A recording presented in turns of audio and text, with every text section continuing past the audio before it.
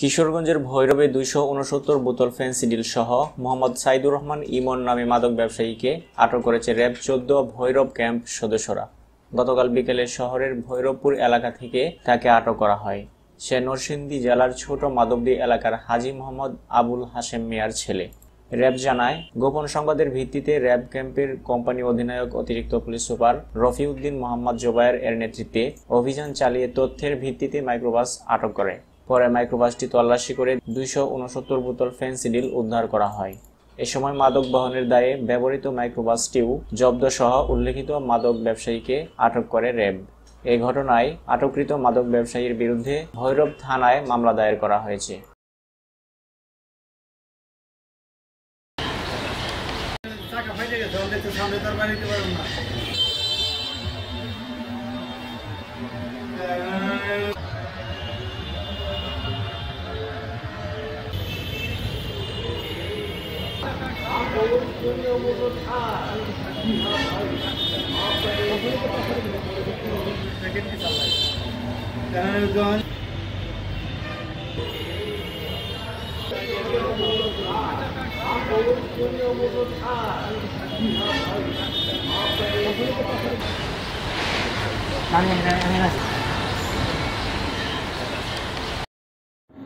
আমাদের নতুন নতুন নিউজগুলো প্রতিনিয়ত আপডেট পেতে আমাদের ইউটিউব চ্যানেলটি সাবস্ক্রাইব করুন এবং ডান পাশের বেল বাটনটি চাপুন।